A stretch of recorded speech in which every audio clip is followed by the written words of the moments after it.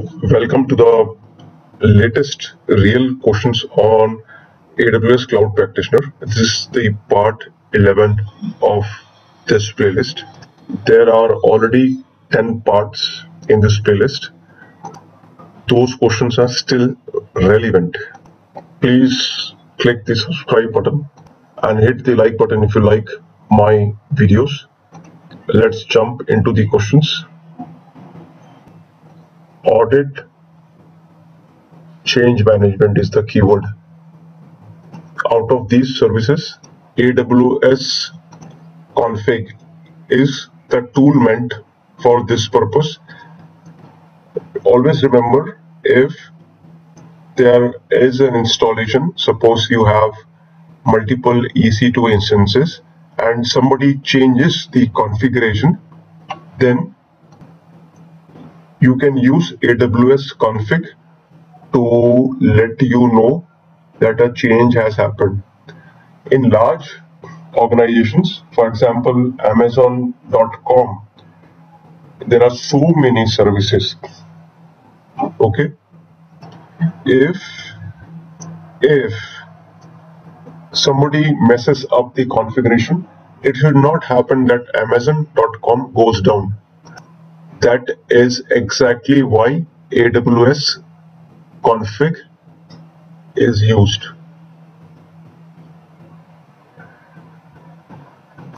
Trusted advisor will give you advice on security best practices. Clearly, this is not a requirement here. CloudWatch, if you want to watch certain metrics, then you can use CloudWatch. Here, there is no metrics to audit the change management. An inspector is used for automation of vulnerability management. This is my final answer. This question asks if you deploy your web server, see this is your web server.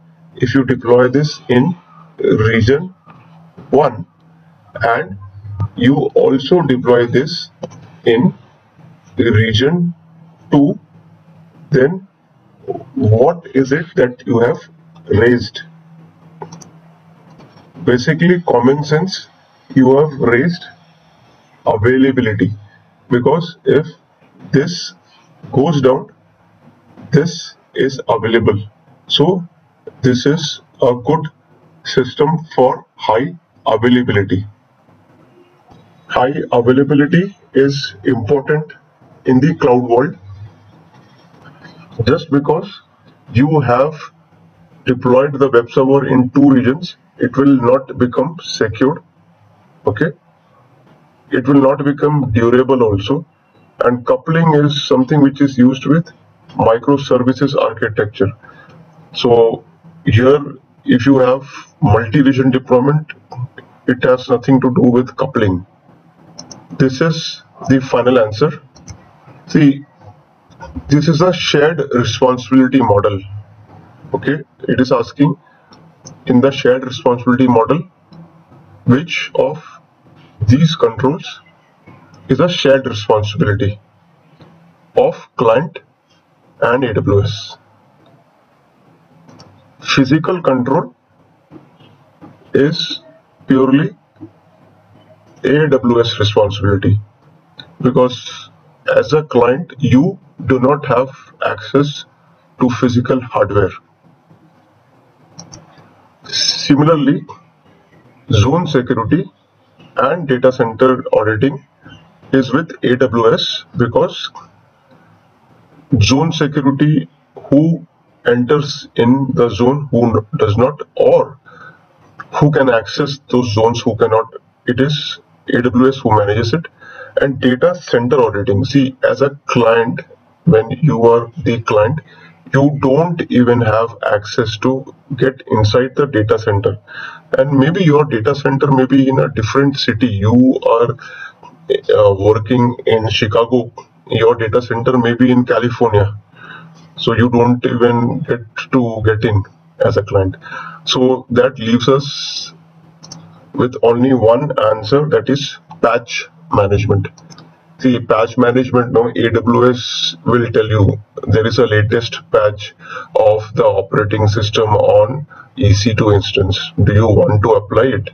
Then you can choose yes I will want I will apply this and then you can take the necessary steps to apply it. So both you and AWS will take this responsibility. Similar question in a different way they have asked. In the exam you know it can, similar question can be asked in n number of ways. Again it is saying what is shared responsibility between aws and customer? See it is patch management and config management see server hardware management server hardware you don't even have access. Customer will not get access. Physical and environment controls customer will not get access. Now application security you know it is purely customers baby. You will have to secure your application. Either you want encryption at rest in transit you will have to use the tls certificates.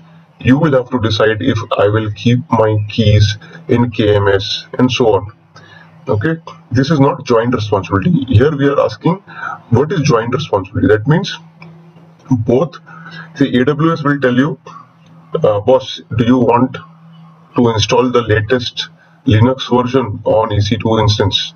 You will say yes, and you can do the formalities needed for that purpose. This is the final answer. See, if you are creating an application, no, an application means consider it as a website. So what will you do as a part of this practice? you should have loosely coupled components so that uh, there is flexibility in scaling one of the components. For example, microservice architecture, you have one front layer, front end, a middle layer, and a database layer. Okay, keep it loosely coupled. Don't tightly integrate this. Keep it loosely coupled so that you can, based on the requirement, if you need to put more resources here, you can do that. See I am showing you well architected framework and loosely coupled scenario is recommended. It entails the processing of large number of smaller jobs. This also helps you to run those jobs in parallel. So one big task break it into small tasks and then run them in parallel so you will get high performance also and for loosely coupled, you have to consider network, storage, compute, deployment. So this is the best practices. We saw that well architected framework. It is recommended by that framework. Please subscribe to my channel and hit the like button if you like my videos. This brings us to the end of part 11. See you in the next part.